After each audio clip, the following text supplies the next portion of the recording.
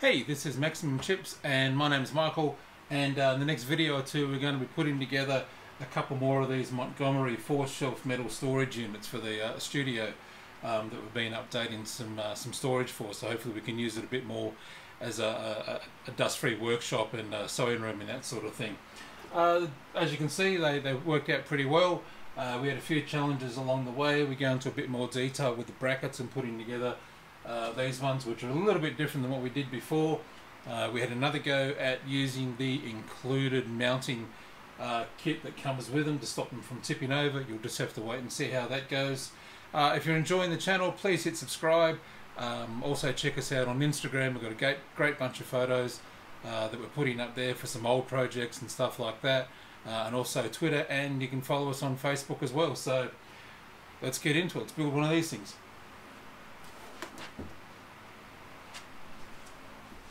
Hi, and welcome to my channel. My name is Michael, and uh, thanks for watching. Today we are going to be putting together uh, a couple of these uh, four shelf metal storage units.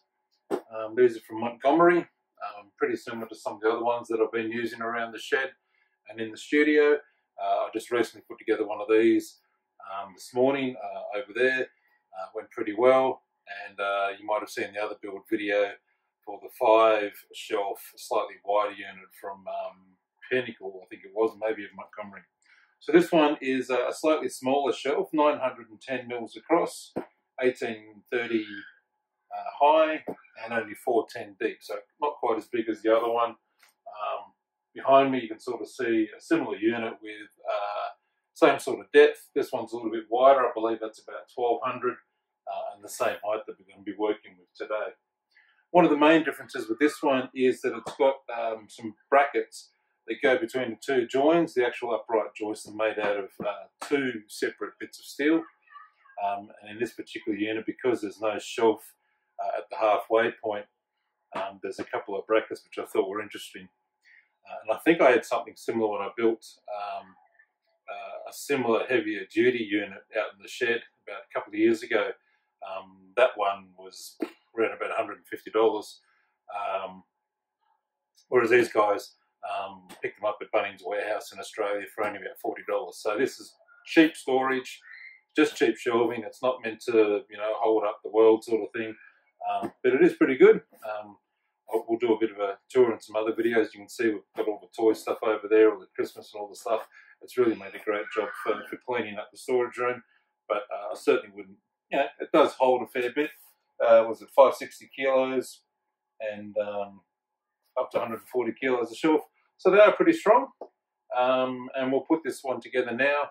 I've actually got two to go into the space here uh, across this wall. It's going to be a bit of a tight squeeze. There's only a couple of centimetres in it, so um, we'll just have to build them in place like we normally do. And um, yeah, see how we go. Um, when I was putting together the one up against the wall, we struck a, a small problem with uh, mounting it um, actually onto the wall uh, and then came up with a really good solution, something that worked a bit better than the first one we did, I think. So what I'll do is we'll, we'll build these couple of units here, get them to a point, um, and then we'll actually stop and um, possibly even do a separate video on uh, mounting these ones to the wall because the solution I came up with for that one earlier this morning is a, is a really good idea, I think. So we'll see how we go. So right now we're going to undo a boxing this one, see what's inside. The boxes themselves are about 20 kilos, so not exactly light. Not quite sure. I'll just do a quick pan down so you can see what's inside the box. Yeah, it's a little bit high. So you can just sort of see there.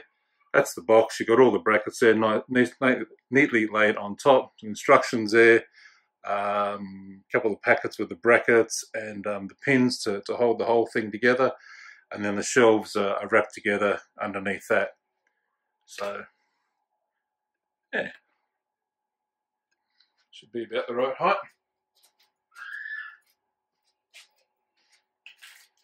So rubber feet and pins, put them there for in a set.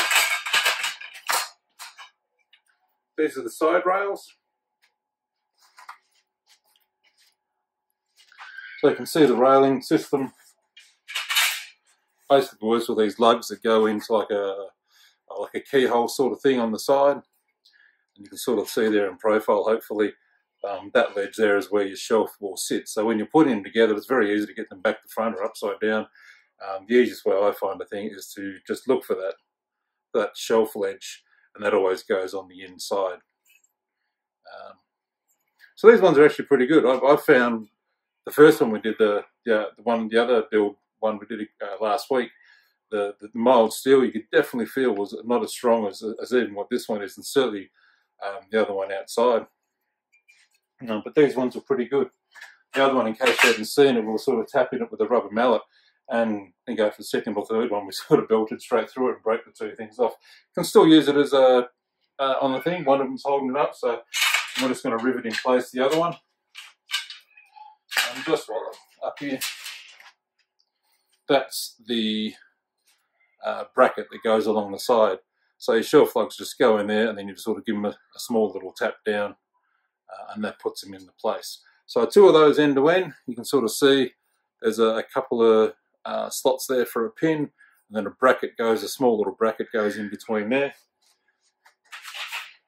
So I can quickly get my hands on a bracket. These took me about half an hour this morning to get the first one up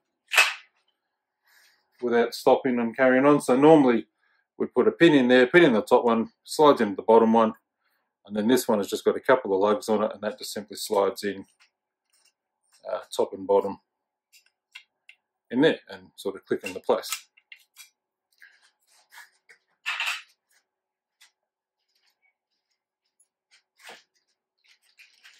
Not sure if I mentioned I picked these ones up for $39 at Bunnings. So not the strongest shelf in the world, but for the price, pretty impressive. So I'm just going to show you up close if I can. So that's the pin. It's got a little head on the top of it. That simply slides into those two top holes. If you're lucky, it'll pull through. Otherwise, I just use a flathead, old flathead screwdriver that I don't mind getting a bit knocked up. Just got a bit of weight to it. So I've just knocked that all the way down.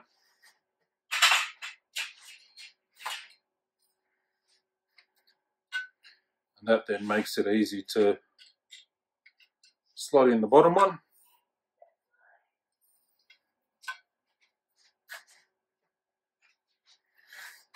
So it's a little bit wobbly. The other ones will stand up and once you get the bracket in there for the shelves they will hold fairly well. So that bracket's just sitting in there now. You got the lugs on the outside. I'll do this on the bench once I do the first one. Just again, a bit of a tap. The flathead screwdriver and away.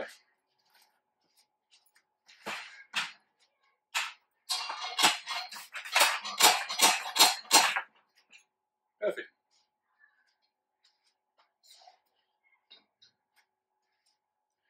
So let's just build those out now. I'll, I'll fast forward through this and just keep going.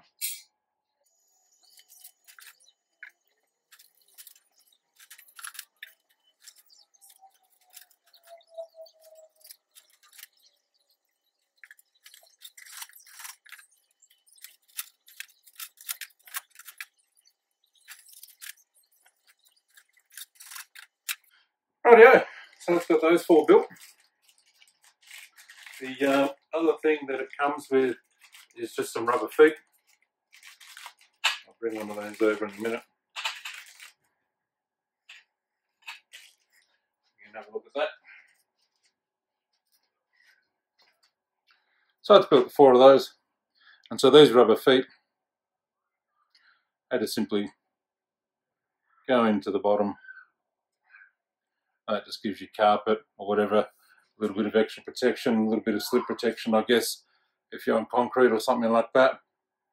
Um, yeah, so I'll pop those other ones on as well.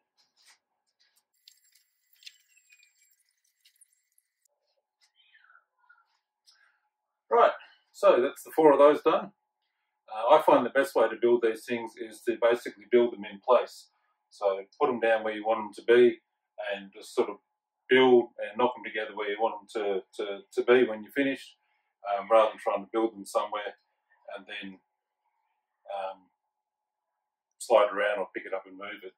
Um, they are fairly stable. Um, the corner joints at the moment, or the joints seem a bit wobbly, um, but once they've got some weight on them and they've got the four shelves, four or five shelves holding them all together, they are fairly stable.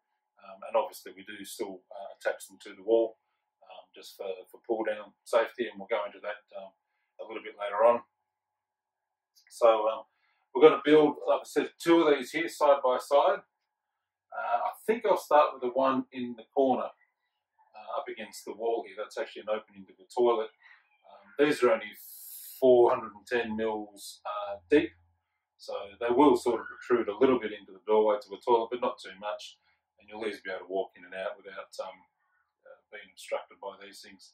So I guess the main thing I've got to remember in um, putting together these things, I've actually got a double adapter PowerPoint down there. So um, I might actually think about doing something about that as we go. Maybe put a power board and pop it up the top. I'll see if I've got one outside. Um, otherwise, yeah, fairly easy to, to um, fix that up later on. All right.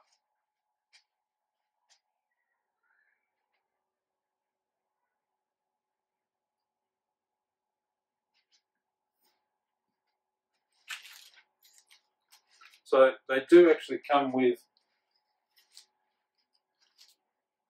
the the shelves nowadays come with a little uh, anchor kit so you can anchor it to the wall. Um, there's a couple of bits in here, uh, both for attaching it to masonry brick walls or plasterboard walls. I said I tried the plasterboard wall one on the shelf over there uh, earlier this morning, I think it was, and it seemed okay at first, and then I went to sort of a little bit do a little bit of adjustment. I was actually going to put a second one in next to it, and just pulling on it pulled the whole thing um, out. So um, I think the main reason was that's a little fly open thing. And the idea is you, you drill, drill a hole, I think it's about an 8 mil hole, compress that, pop it into the wall, and then the whole idea is when you put your screw through, it opens it up and keeps it compressed against the wall. Well, I just sort of couldn't get enough. Maybe I didn't screw it in enough to hold it on. That might have been the problem. Um, could also be that's a fairly narrow gap and I'm pretty sure that my plasterboard is deeper than that. The uh, Ramset wall fasteners that I use uh, can deal with, um, the particular ones that I'm using at the moment deal with either, um, it's 10 kilos in weight and vertically, uh, yeah, vertically, um, and a depth anywhere between 6 and 16 mils on the plasterboard. So you've got a much greater range. These are more like towards the 12 to 15 range. So I just don't think this thing could get enough grip on it. It was probably sitting more like that. And as soon as I pulled on it, the whole thing just kind of collapsed on itself and, and came through the hole. So I put a Ramset one in. Um, and also the other thing I didn't like about them was um, these ones, they don't give you any flexibility of having a gap between the shelf and the wall typically when you put these things together, you're dealing with architraves on the bottom of the floor. So your shelf is normally, you know, a couple of centimetres away from the actual wall. So um, the way I get around that with my Ramset ones, I'll show you a bit later on, but I have 10 to 15 washers on the other side of the shelf between the shelf and the wall um, as a spacer. And then that way I can actually tighten the shelf up. It's nice and tight, but it's not sort of leaning right back up against the wall being bent over. Whereas this one kind of had to there was no choice to put that spacer in really. Um, uh, I might have been able to do something with it, but I'll show you the Ramset ones a bit later on, and, and you, know, you can choose to, to go with this. It's great that they're giving you these now. It was only a couple of years ago that you didn't get anything like this uh, when you bought like a bookcase or shelves like this, so it's great that they're actually giving people these sorts of things nowadays. It's very important to fix uh, your bookcases and shelves up against the walls last thing you want is a, a kid pulling the whole thing down on top of themselves.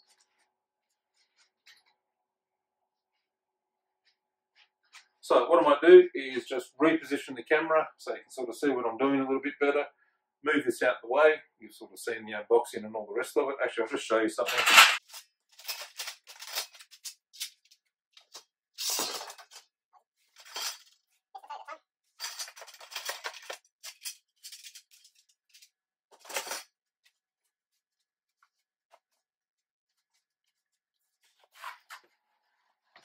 So these are the shelves, um, just 8 mil uh, MDF shelves, got a bit of a notch on each corner which makes it easier to, to fit in if they've got a little bit of gap on the corner, um, just easier to sort of get in and out uh, of the shelf.